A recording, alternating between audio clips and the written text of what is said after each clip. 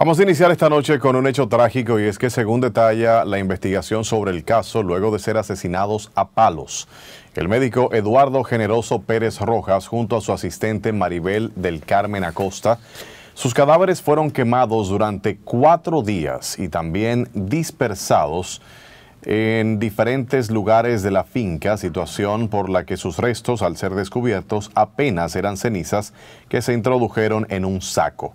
Familiares del galeno narran que el pasado jueves se presentaron al destacamento policial de La Isabela en Puerto Plata para denunciar la desaparición de su pariente, pero allí se negaron en dos ocasiones a recibirla bajo el alegato de que debía ser presentada por un hijo del médico. Continúan diciendo que al día siguiente, en compañía de agentes policiales, detuvieron al supuesto asesino de nombre Juan Alberto Perdomo Vargas, cuando compartía con varias personas en la comunidad de Estero Hondo, mientras una segunda persona fue apresada con relación al hecho. Y expertos de la conducta humana califican como psicópatas a aquellas personas que planifican la muerte de otros de manera violenta. Consideran que estos comportamientos son fríos propios de esas personalidades. Yulisa Reyes con la historia. Las víctimas de muertes violentas tienen un común denominador, la personalidad psicópata de su verdugo, y es que arrancarle la vida a otra persona usando actos de violencia es un indicio de que los agresores poseen una condición mental maquiavélica. Para terapeutas de familias y psiquiatras, priorizar la salud mental de la población evitaría situaciones tan trágicas. El grupo que lo hace, no hay nadie que sienta dolor, arrepentimiento, sufrimiento, vergüenza. Eso es típico de, los, de las personas con comportamiento antisocial. Eso es típico de los psicópatas. El último caso de muerte violenta ocurrió el pasado fin de semana en Puerto Plata. Las víctimas son Eduardo Generoso Pérez Rojas, de 79 años de edad, y Maribel Acosta, de 48, quienes fueron asesinados a palos por empleados. La inversión en salud mental es muy importante. Todavía eh, estamos por debajo de lo que eh, se necesitaría, pero en este tipo de casos, cuando hablamos de antisociales, eh, no es básicamente lo que va a mejorar una, mayor inversión en, este tipo de problemas, de trastornos. Sus restos fueron hallados convertidos en cenizas luego de haber sido quemados por sus agresores. De acuerdo al parecer de los expertos de la conducta humana, quienes cometen estos hechos deben ser recluidos, ya que la personalidad fría, maquiavélica y calculadora no cambia. Julisa Reyes, Noticias, Su Mundo. El Ministerio de Educación presentó este lunes el Código de Ética para regular las relaciones entre estudiantes y personal de las escuelas públicas y también colegios privados. Los detalles a continuación con nuestro compañero Víctor Erasme. El régimen de consecuencias del Código de Ética, que fue elaborado por una comisión que constituyó el mes pasado el ministro de Educación Ángel Hernández, contempla desde una amonestación oral hasta la desvinculación del servidor público que viole sus disposiciones. Entre estas se destacan que las relaciones del personal de la escuela con los estudiantes deben ser académicas y de servicio formativo, y que el uso de las redes sociales y de toda herramienta tecnológica con una finalidad diferente a la formación académica está prohibido para el docente y personal administrativo en su interacción con los alumnos. Dotar a los centros educativos de un código de ética concreto que regule todos los tipos de relaciones que se producen al interior de los centros educativos es una responsabilidad cardinal del Ministerio de educación. Nosotros estamos regulando es el uso que puede estar eh, distorsionado y que no tiene una finalidad académica. Obviamente que eso implica tanto, eh, primero, un proceso formativo con los y las docentes para entender el alcance de esas relaciones, El viceministro de Acreditación y Certificación Docente del Ministerio de Educación aclaró que la implementación del Código de Ética no está relacionado con el caso de la docente de Nagua, Sara Ventura Genao, quien tenía una página en la plataforma OnlyFans. Estuvimos revisando todas las disposiciones éticas que existían al interior del mismo y percibimos, percibimos, no frente a los últimos casos, sino también tomando en consideración casos históricos anteriores, que era importante establecer un código de ética que regulara las acciones concretas al interior de los centros. el código de ética que implementará el Ministerio de Educación está pautado para iniciar en escuelas públicas y colegios privados a partir del próximo año escolar. Víctor Erasme, Noticias Su Mundo.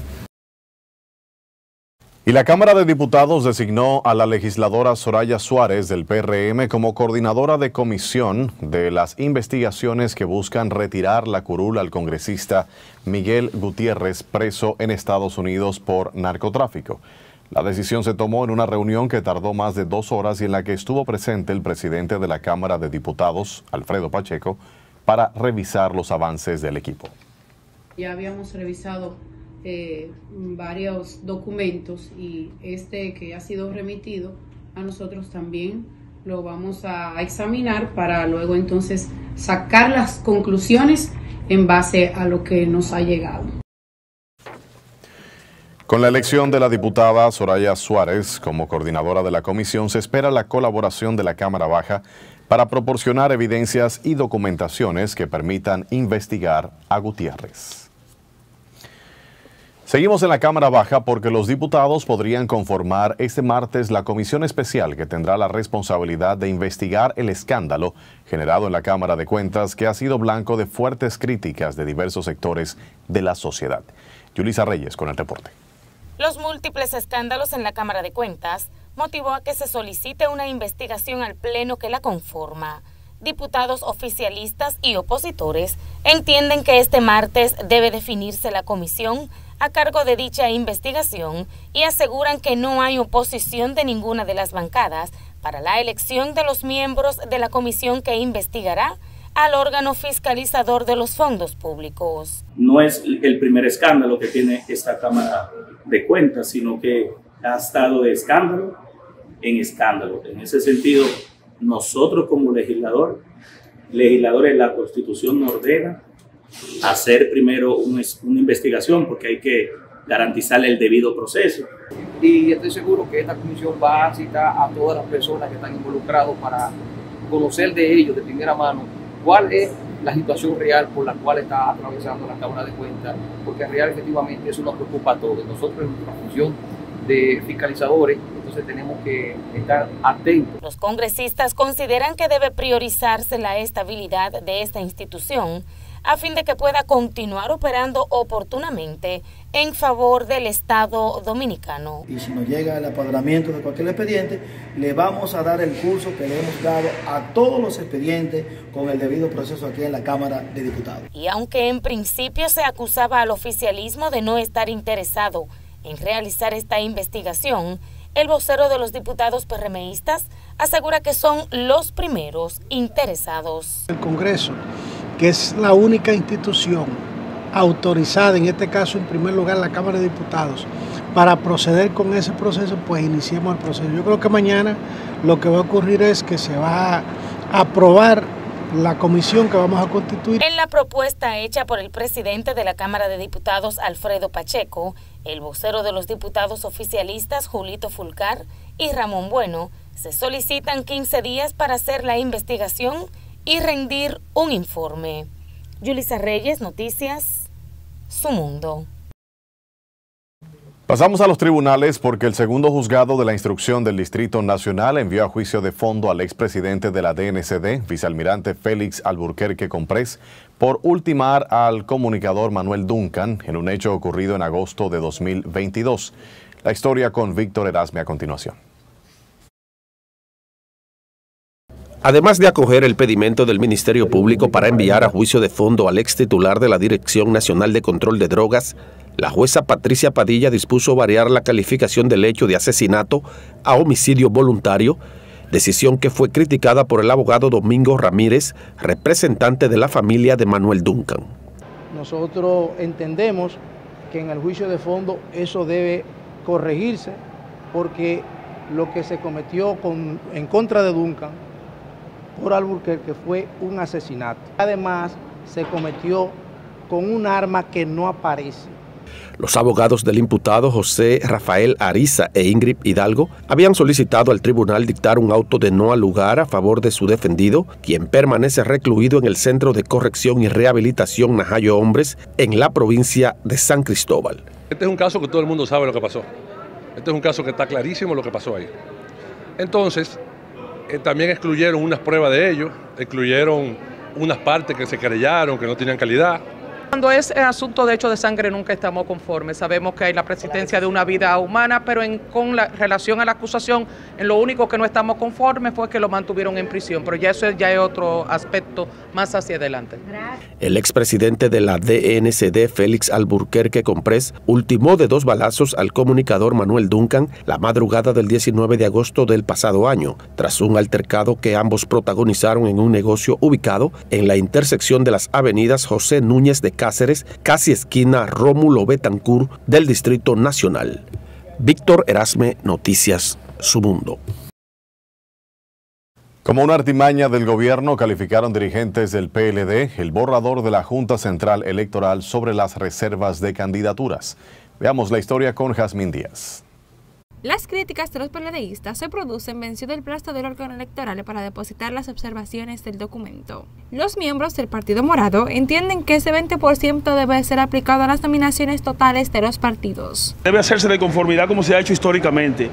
Fue sobre esa base que en el proceso pasado el PRM y sus aliados lograron la cantidad de escaños que tienen, la cantidad de curul. Entonces yo no veo por qué no continuar con esa misma metodología. No hubo contratiempo, no hubo dificultades el año pasado. Para el consultor jurídico del PLD, José Dantes, la interpretación que dio el Tribunal Superior Electoral al artículo 58 de la Ley 33-18 de partidos políticos es errónea. El PLD manifestó que serían los primeros en verse afectados debido a que esto limita las alianzas. Un borrador que está sustentado en un marco legal que no está actualizado la ley, de, la ley 2023, en su artículo 136, establece los mecanismos para las alianzas y no hay topes para las alianzas. Entonces, la interpretación del artículo 58 que ha hecho la Junta Central Electoral en base a una sentencia del TSE que no es vinculante es incorrecto. Entonces, además de que afecta a todos los partidos del sistema porque le pone una camisa de fuerza que el legislador no le ha puesto, los miembros del partido opositor fijarán su posición sobre el tema de las reservas en los próximos días. Así lo informó el secretario general de la organización. La sentencia del Tribunal Superior Electoral es vinculante entre las partes, fue una sentencia respecto a un recurso que se sometió en su momento respecto a la decisión del PRM. O sea, nosotros entendemos que la ley es clarísima, la reserva es, es global. El comité político del PLD se reunió este lunes como parte de las sesiones ordinarias y tuvo como tema central la reserva de los candidatos. Jazmín Díaz, Noticias Mundo. De vuelta al plano local, el ministro sin cartera José Leonel Neney Cabrera afirmó este lunes que pretende ser candidato a la alcaldía del Distrito Nacional si la actual alcaldesa Carolina Mejía desiste de presentarse como aspirante al cargo municipal. Dijo que asumirá la candidatura bajo el lema Protejamos nuestra ciudad con el objetivo de continuar las buenas obras que han realizado las dos alcaldías del Partido Revolucionario Moderno que han encabezado David Collado y Carolina Mejía. Afirmó que la actual alcaldesa ha mostrado un buen desempeño frente al ayuntamiento de la capital. El presidente del Colegio Dominicano de Periodistas abogó porque el Congreso Nacional apruebe a la mayor brevedad posible el proyecto de ley contra la ciberdelincuencia reintroducido recientemente a la Cámara de Diputados por el Poder Ejecutivo. Aurelio Enríquez destacó que esta pieza legislativa impone castigos severos a una serie de acciones cometidas con dispositivos tecnológicos que hasta el momento no tienen sanción en el país. Nosotros vemos que es una gran necesidad que el Congreso tiene en su mano, el país tiene en su mano, para la protección de la gente de los ciberataques que permanentemente se tienen. Y uno de los más recientes de los ciberataques es el que se le ha hecho con un software de Pegasus, un software muy peligroso y que es, es utilizado para espiar. El proyecto de ley contra la ciberdelincuencia sanciona el espionaje o intervención de datos o señales con penas de 3 a 5 años de prisión y tipifica el delito de clonación de dispositivos de acceso, el cual será castigado con penas de 4 a 10 años de cárcel y multa de 100 a 500 salarios mínimos del sector público. Hablemos de política porque el dirigente de la Fuerza del Pueblo, Ignacio Ditren, denunció que es muy elevada la inversión del recién inaugurado teleférico de los Alcarrizos en comparación con la primera línea de ese tipo de transporte. Martín Severino con los detalles. Según el dirigente político, la primera línea del teleférico cubre más espacio que la que se construyó en el municipio de Los Alcarrizos y la inversión es mucho más baja. Pero dicen que costó tres veces más que el que costó, el que se construyó. Eso dicen. Siendo eh, más corto el trayecto. Eh, lo que quiere decir que eso es un tema para investigar criticó que dirigentes del PRM amenacen a servidores públicos para obligarlos a acudir a actividades políticas del partido oficialista. Llevaron a su departamento eh, unos formularios para que se inscribieran en el sector externo de Luis. Que no se inscribe lo, lo dejan sin funciones. Así es que están. Así es que están. Entonces eso no es democracia, presidente. Hermano de Línea Ascensión es compañero de trabajo. Eso no es democracia ni le hace bien a su gobierno. Ignacio Ditren habló en el programa matutino Su Mundo. Martín Severino Noticias Su Mundo. La populosa comunidad de Villamella se ve entrampada ante el desbordamiento de la delincuencia sin que las autoridades policiales enfrenten con eficiencia ese mal social. Vanessa Valdés con los detalles. Hay mucho asalto, hay mucha delincuencia. Hay que orarle a Dios mucho. Moradores de diferentes barrios en Villamella se quejan de que no han disminuido la delincuencia, pues desaprensivos protagonizan atracos, a pesar del esfuerzo que realizan las autoridades. Yo los patrullajes caminando, haciendo su trabajo, pero los delincuentes también saben leer y ellos por lo menos dicen, bueno, si de día que la policía está patrullando, ellos de día están ocultos en su casa. ¿Están disminuyendo los atracos aquí en Villamella? Bueno, están disminuyendo por parte y por parte están apretando. Dentro de los barrios y sectores que los lugareños piden mayor reforzamiento policial son la 28, Mata a los Indios, Punta de Villamella y San Felipe para mayor seguridad. Lo que pasa es que por aquí antes estaban atracando mucho. Entonces, después que yo estoy aquí, ya los ladrones venían a las 4 de la mañana, a las 5, allá, ahora ya no vienen. Porque ellos saben ya que como uno lo ve, se están atracando, que ellos no vienen. La policía venía mucho aquí. Ellos vienen todos los días, ellos pasan, cada rato pasan la policía por aquí. Entra por esta calle y sale por la otra. Sin embargo, en otras zonas como la calle Minelicia, próximo a la avenida Hermanas Mirabal, algunos moradores dicen que los asaltos han disminuido. No hay seguridad de verdad. Oye, tú tienes que orar antes de salir, tu seguridad es Cristo. Oye, en tu mano no te cuida a ti. ¿Quién? Tú me vas a cuidar, la policía. Dios me cuida. A pesar de las quejas, en la vía principal se puede visualizar patrullajes de diversos organismos de la Policía Nacional. Vanessa Valdés, Noticias Su Mundo. El ex cónsul haitiano Edwin Parizón aseguró que una intervención militar no es la salida a la crisis institucional, política y económica que vive Haití. Dijo que no hay avance en torno a las conversaciones para buscar una solución a la crisis de esa nación, pese a los esfuerzos que se han realizado no hay uh, una, una, percepción eh, positiva. Bueno, nadie va a percibir de manera positiva una intervención militar en su país. Así que es rechazado. Sí. La intervención como tal, la intervención militar, por la experiencia que hemos tenido en los últimos 20 años, pues en Haití se rechaza la, la intervención militar y se entiende que no hace falta. Valoró como positivo los esfuerzos del gobierno dominicano de que la comunidad internacional vaya en auxilio de Haití. Comerciantes del nuevo mercado de Herrera en Santo Domingo Oeste se quejan de que las ventas han bajado como consecuencia del poco flujo de consumidores debido a la falta de promoción del espacio. Vanessa Valdés amplía. A menos de un mes de la reubicación del centro de acopio en Herrera, comerciantes se quejan de que las ventas están por el suelo debido a que la visita de los ciudadanos ha mermado como nunca se había registrado en la zona. Más publicidad que no hay. La gente no, no sabe qué mercado está aquí. No estamos vendiendo nada, nada, nada estamos vendiendo. Porque el síndico nos ubicó aquí y él no anunció nada de esto. Ni aporta un cartelón, ni nada. La gente viene a comprar y dice, ellos creen que aquí no hay mercado, creen que lo quitaron. Ellos vienen a comprar y dicen, no, aquí no hay mercado. Y uno dice, sí, aquí hay mercado. Lo malo que estamos aquí encerrados. Dentro de las quejas que emiten detallistas está la falta de espacios para las mercancías. No estamos muy bien porque nos está yendo mal y los espacios no están, son muy chiquitos para lo que no tenía. Espacios son, están pocos, son pequeños algunos. ¿Muy pequeños? Con la revocación está bien porque estamos en un lugar más tranquilo. No se está vendiendo igual. A pesar de las críticas, algunos detallistas están felices con el cambio, aunque registren una baja a nivel de ventas. El cambio es brusco, entonces la gente todavía no lo ha cogido bien, pero cuando empecemos a transitar más la gente va para vender más. Pero eh, por ahora estamos bien, estamos tranquilos. Y aquí sobre todo no nos mojamos y no nos da el sol. La alcaldía de Santo Domingo Este reubicó a más de 300 buhoneros que operaban de manera informal en la calle H. El centro de comercio cuenta con más de 216 mesas y 105 locales comerciales en dos niveles. Vanessa Valdés, Noticias Un Mundo. Y con esta información concluimos nuestra emisión estelar de Noticias Un Mundo. Gracias por haber estado con nosotros. Será hasta mañana, si Dios quiere, en una nueva entrega. Buenas noches.